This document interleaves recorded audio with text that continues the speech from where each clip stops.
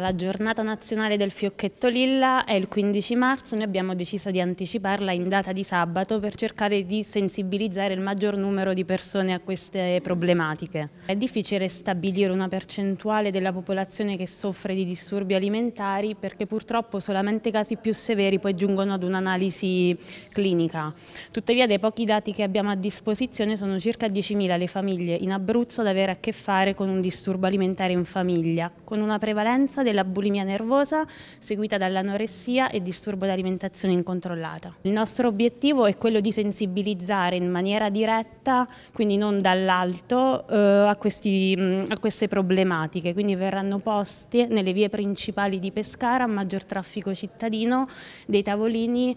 allestiti come se a fare il pasto ci fossero ragazze, tra virgolette, anoressiche e bulimiche. L'obiettivo è quello di catturare l'attenzione dapprima su questa immagine e poi indirizzarla a quello che è il vero significato di un piatto troppo vuoto o troppo pieno, quindi il tentativo di gestire un vuoto che non si riesce a gestire in altro modo se non utilizzando come strumento il cibo. Quali sono le fasce di età eh, che devono fare i conti con queste problematiche? Allora, i disturbi alimentari rimangono di prevalenza una problematica adolescenziale, però eh, quello, che, ehm, quello, che, si assiste è che in realtà c'è anche un, una grande fetta di, ehm, di, popolazione al di sotto dei 10 anni che soffre di queste patologie, così come anche una fascia di popolazione over 40 che porta dietro disturbi alimentari.